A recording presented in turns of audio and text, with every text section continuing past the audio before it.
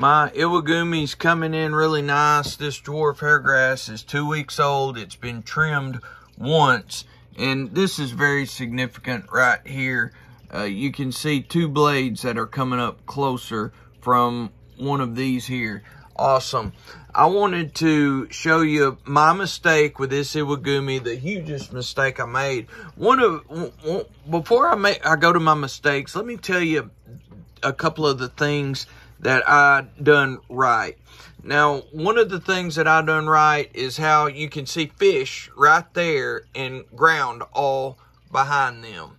I layered it. I stacked up the back as high as I possibly could. And I tried to on this side. It was supposed to look like it went up and down into a valley and back up. But the the sand it settled a little bit more than I wanted it to.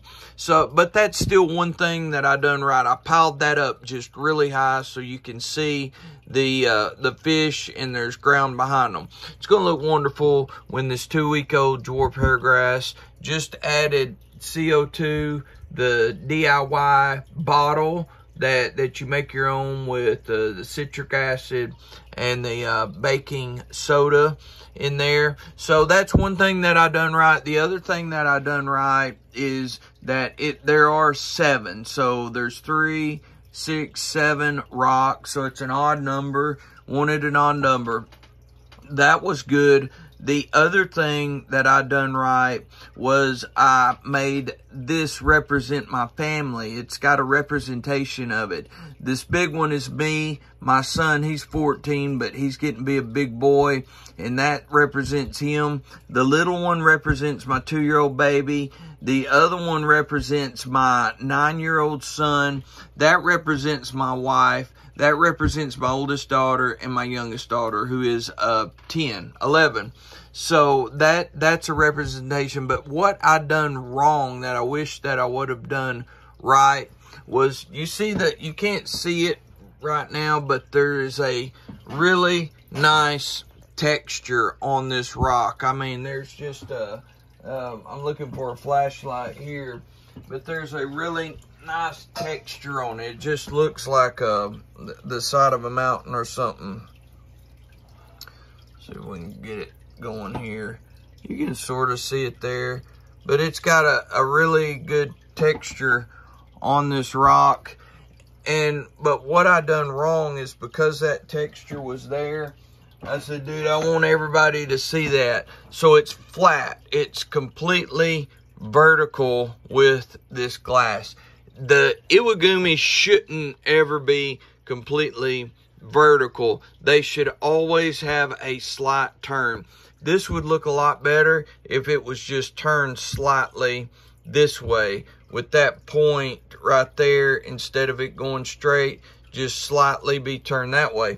And I done the same thing with this one here. But I was excited. I had my rocks. I had this this 75 gallon tank and I was trying to get it done. But this rock, the face of it is completely vertical with the glass and it should also be either turned this way or I would say turn it this way since this one is sort of pointing that way. So you want them, you want everything, you just see how this one here, instead of it, the, the face is right there and it's, it's turned a little bit. So maybe this one should have been turned that way some, but it's a mistake I made. And since I've got, uh, I put a, a soil down, I know you can't see it, sorry for the lighting, but there's sand, a bunch of sand that came out of my yard.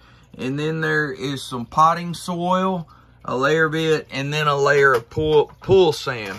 So I laid these rocks down on top of the potting soil and then I poured a lot of pool sand down so they look like they're submerged and they really are in sand. They're just coming up out of the sand.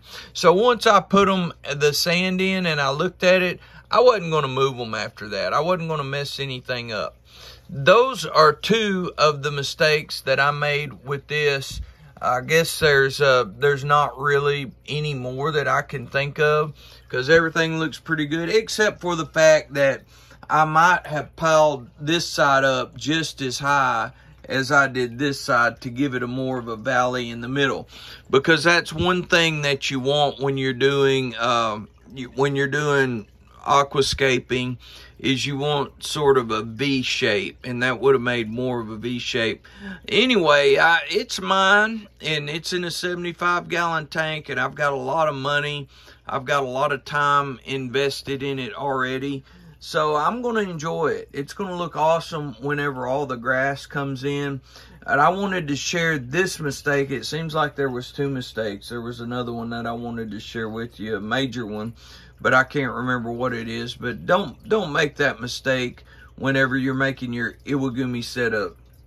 The beauty about the Iwagumi setup is people come in and they look at this and they're like, man, look at all them plants and fish and sticks and sand and the the rocks and look at all that. And it's just stuff everywhere to look at. But then when you see this and it's like plain and simple and calming and relaxing.